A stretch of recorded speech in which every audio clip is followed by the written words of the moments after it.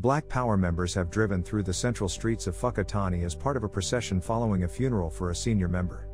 The procession followed a funeral for Black Power senior member, Koro Bong.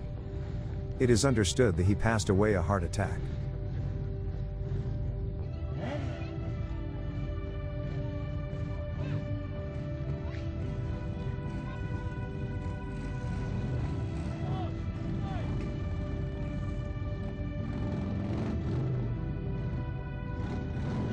Police say they issued some fines relating to the event and may issue more.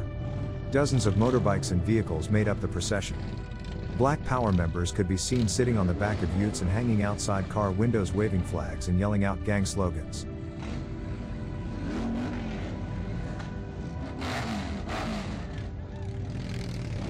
Procession lasted a good 15 minutes in the city with loads of cars and about 300 people at the funeral.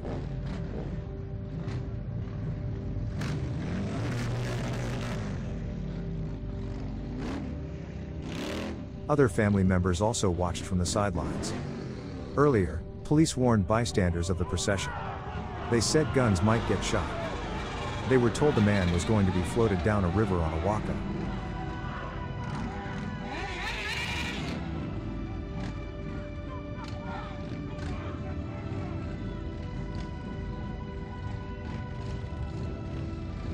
A police spokeswoman said police had issued a small number of fines in relation to a funeral procession in Whakatane.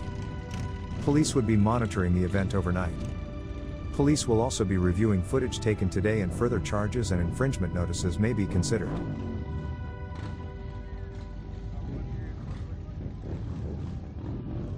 We will have more accurate information available tomorrow once the funeral has ended. Police released a statement earlier warning the public of disruptions due to the procession.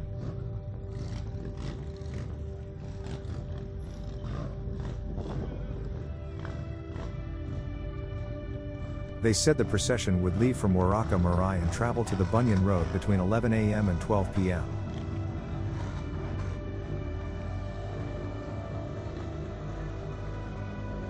Motorists should expect some traffic disruptions if traveling through these areas during this time.